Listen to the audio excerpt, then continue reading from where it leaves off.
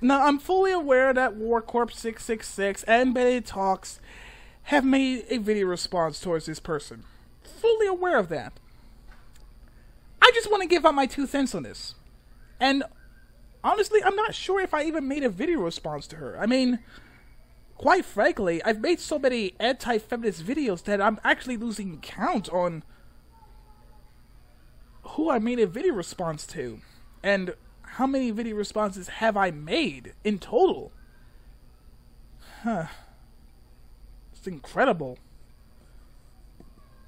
Well, let's stop being around the bush. Let's begin. I'm a feminist because someone's sexuality, gender, and appearance does not diminish their value as a human being. Unless, of course, cisgender white male that is straight and thus needs to pay for their sins because of what you are. You are scum. We need feminism because a woman's body is not something to be objectified. Now, if you look to your right, she's actually using a fucking Barbie doll to prove her point. You are really, really fucking stupid, you know? There, there, two things, okay? One, it's not entirely impossible for someone to objectify and still acknowledge the person as a human being. Okay? We don't see every goddamn woman as nothing more as an inflatable doll just to put our dick inside. We see everyone as a human fucking being. The only people that seems to objectify women are those feminists, feminists like yourself, who insist that society, you know, is uh, basically so adjusted to to to the patriarchy that men are so goddamn okay to objectify women to the point where they see us nothing more as sex dolls. And two, men are just as objectified as women. I am constantly objectified on YouTube because right now I am nothing more than mere entertainment. I seriously, how many times do I have to repeat this argument until it gets to every fucking feminist thick skull? Because young girls should want to be so much more than just being nice to look at. Hey, Miss Misanthropist, are you watching this video? Because apparently this woman believes that society has taught all of us that women have no place other than being pretty on the streets. So apparently you should prove her right. Stop making YouTube videos. You know, put on some makeup. You know, put on some nice clothing and attract as many boys as you want. You know, because that's what you're good for. We need feminism because of the daily sexism that we've just become accustomed to. Because it's so goddamn normalized to hate women. Even though you have no fucking proof! It's normal, but that doesn't make it right. Cause a play is so goddamn normal to rape a woman. Hell, I know a woman that just got raped in front of everyone. People just like, yeah, he's doing a good job. You know, fan fucking tastic fucking brilliant. It's a work of fucking art.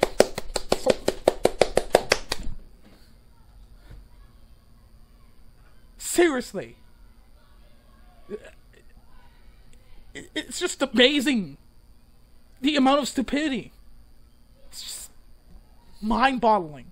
We need feminism because the media tells us that we should see other women as a threat and competition. The media does tell you that if anything, it's usually other people that tell you that you're in competition with other people.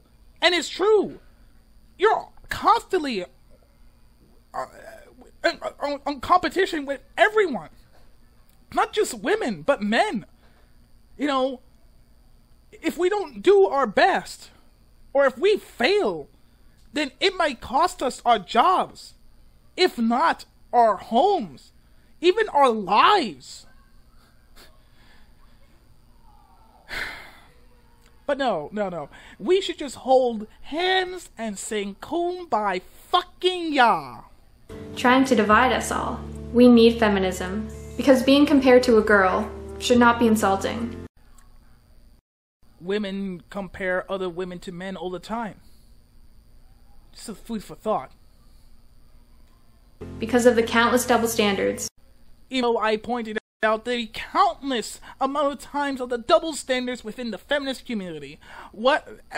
But they always, always ignored me. They always ignore every form of criticism against feminism because they think they're so goddamn perfect that any forms of criticism against feminism is the equivalency of harassment and sexism. Hell, if, if a woman dares to speak out against feminism, then she basically is in support of women being nothing more than fucking slaves to the men. It's it's incredible. I swear, the day that a female feminist decides to stand up for herself and actually debate people, you know, not, not hide away like a little pussy, is the day that Adolf Hitler comes back from the dead, puts on a tutu, and dances in front of millions of people.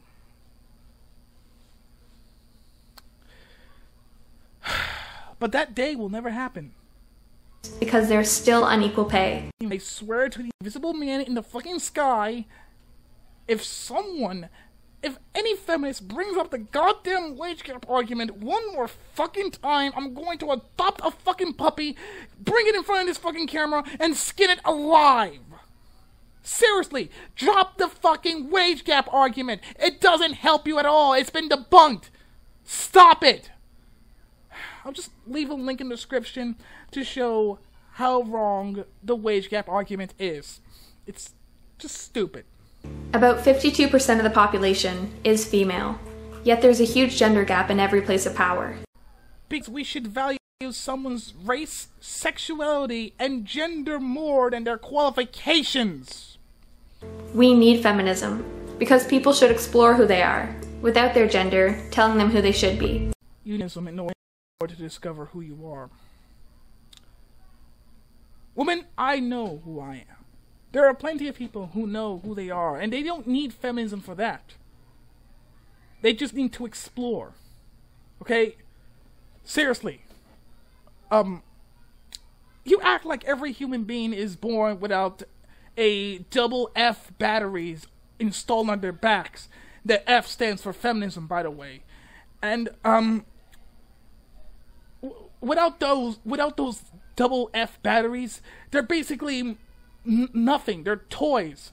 They don't think for themselves.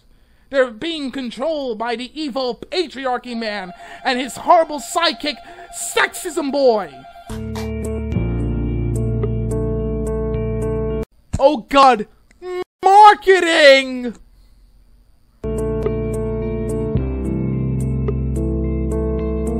You know, not every goddamn man on this planet is, you know, fucking Hercules, you know. Fact, there are plenty of people out there that are extremely overweight and lazy. Me, I may not be extremely overweight, but I'm not exactly the most athletic man on this planet either.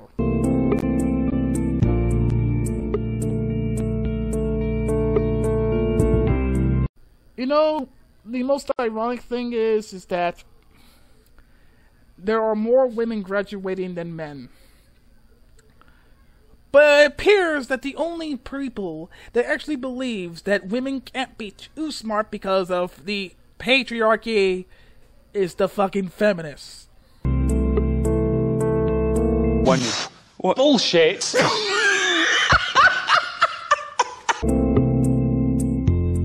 That's a pat. That's Really, Missy? You shouldn't act too smart. That's a place for boys, you know?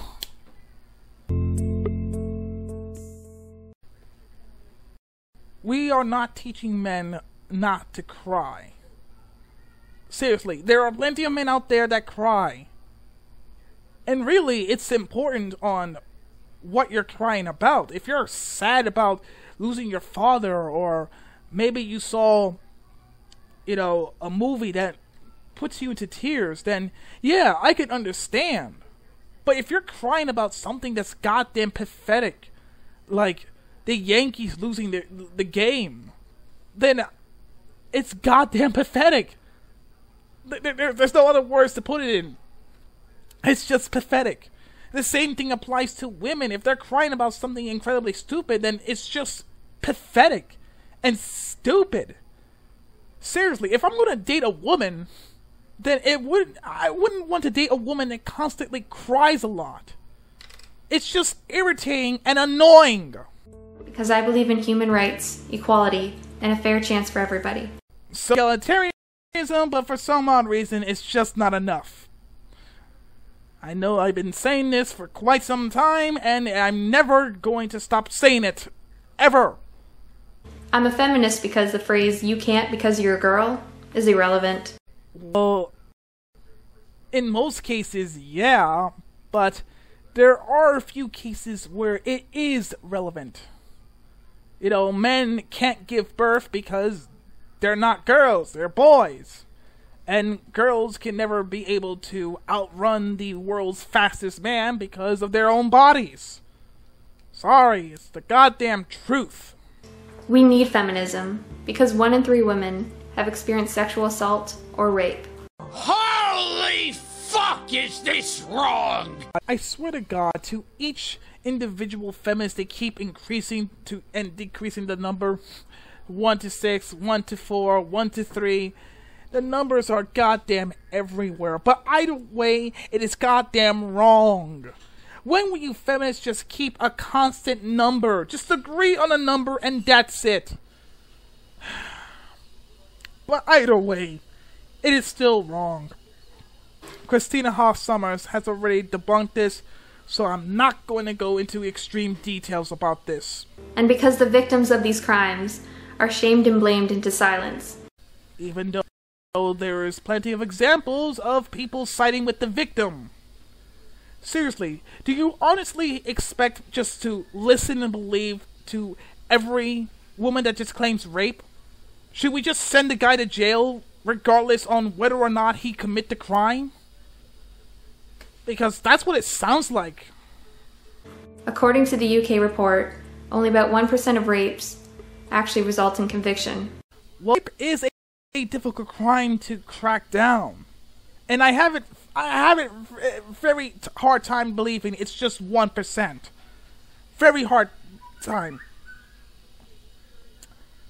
But just just, in, just as you know, okay, there's got to be proof that this person actually did it, either by maybe a witness, or you know, video footage or a rape kit. You know, if there's no goddamn evidence, then sorry, he goes scot free. Is innocent until proven guilty, not guilty until proven innocent. These problems are still being covered up. We need feminism because this cycle needs to stop. The cycle of what? Life and death? So I'm a feminist because I care. Unless you're a cisgender white male, then fuck you! You deserve to burn in hell.